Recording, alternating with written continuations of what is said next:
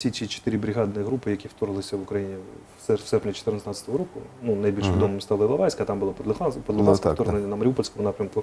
Вони не виконали оперативне завдання. Об этом прямо пишуть на російських військових формулах дотичні люди, форумах люди дотичні до цього. Вони кажуть, що бригади не виконали навіть половину оперативних завдань, які поставили. Тобто вони не боєздатні. Що розмах у Кремля політичний, там, може бути, вони можуть там собі небо в алмазах уявляти, але насправді е, е, російська армія не може виконати ці всі завдання. І як вона погано воює в Сирії, ми бачимо з вами кожного дня. Тобто це невідповідність планів і засобів виконавців, які є в розпорядженні. Тобто розмах у Росії Росія дуже хоче буде як Сполучені Штати і всім тут керувати. Насправді вони не можуть взяти, взяти одну коробку прострілювану картонну Донецького аеропорту 262 дня поспіль. Тому і про яку Варшаву, про який Дніпропетровський, який Харків йде мова.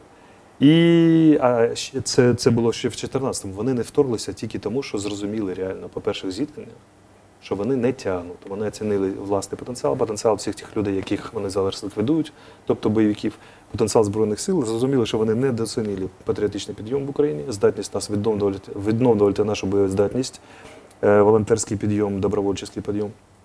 підйом. І зрозуміли, що якщо вони зайдуть сюди, то може за збройними силами вони покінчать доволі швидко, хоча це також було дуже проблемне питання. Але буде величезна партизанська війна, яка їх, їх прикончить.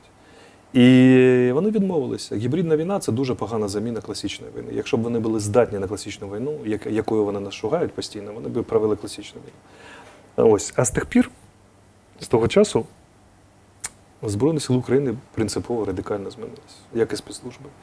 І зараз це 250-тисячна армія, взагалі силовиків зараз під ружьом, десь 400 тисяч, нас уже не то, що голими руками, ніяк не візьмеш.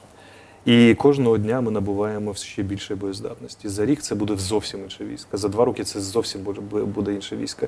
І там мова буде йде вже не про вторгнення, а як би поразку не потерпіти від Збройних сил України. Що треба за два роки треба буде убиратися з Донбасу, тому що і зброя, і стан збройних сил, рівень підготовки, рівень кадрів, все буде відповідати тому, щоб ми провели блискучу там контрнаступ відповідь, або принципово змінили рядом там певних військових та спеціальних дій ситуацію на сході. Мова чи за рік мова буде йти про оборону для них насправді.